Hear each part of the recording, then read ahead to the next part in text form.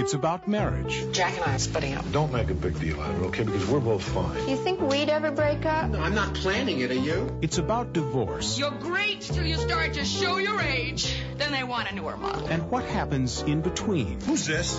Who's this? This is this is my husband. It's none of your business. Please my leave. business. Husbands and wives. Rated R.